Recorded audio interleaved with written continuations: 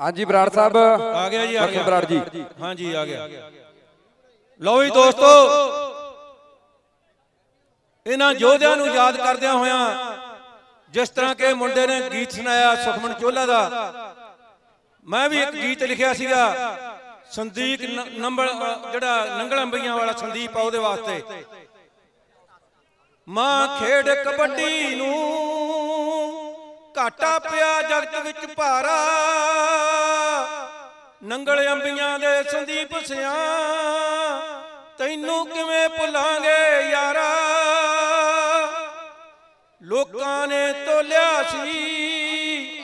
ਤੈਨੂੰ ਨਾਲ ਡਾਲਰਾਂ ਪਾਉਂਦਾ। ਅੱਜ ਤੇਰੇ ਬਾਝੋਂ ਤਾਂ ਸਾਨੂੰ ਸੁੰਨੀਆਂ ਦਿਸਣ ਗਰਾਉਂਦਾ ਧਾ ਨਿਕਲੀ ਇੰਡੀਆ ਦੀ। ਰੋਂਦਾ ਮੁਲਕ ਬਾਹਰਲਾ ਸਾਰਾ। ਇਸ ਤਰ੍ਹਾਂ ਦਾ ਮੇਰਾ ਗੀਤ ਸੀਗਾ, ਇਸ ਪਰ ਤੁਹਾਨੂੰ ਫੇਰ ਸੁਣਾਵਾਂਗੇ।